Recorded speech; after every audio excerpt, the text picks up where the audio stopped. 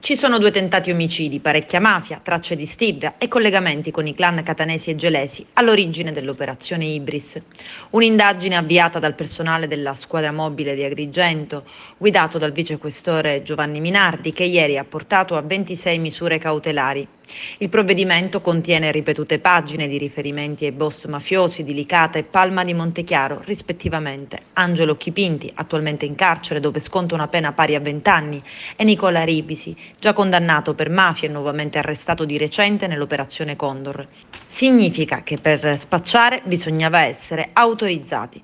Emerge inoltre che il collaudato e redditizio traffico di stupefacente ha avuto il suo quartier generale al Bronx di Licata, un vero e proprio fortino della droga, un agglomerato di case popolari caratterizzato da cortili e strettoie che rendono di fatto quasi impossibile il transito a persone che non siano residenti della zona.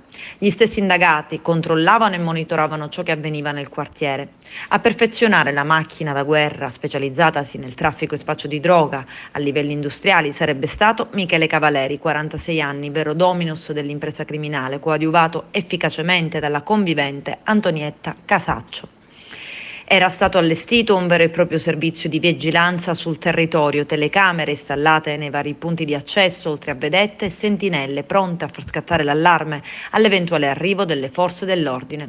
E durante le indagini è emerso come il sodalizio controllasse ad esempio gli spostamenti delle pattuglie, arrivando anche a contare le automobili e ipotizzare un blitz.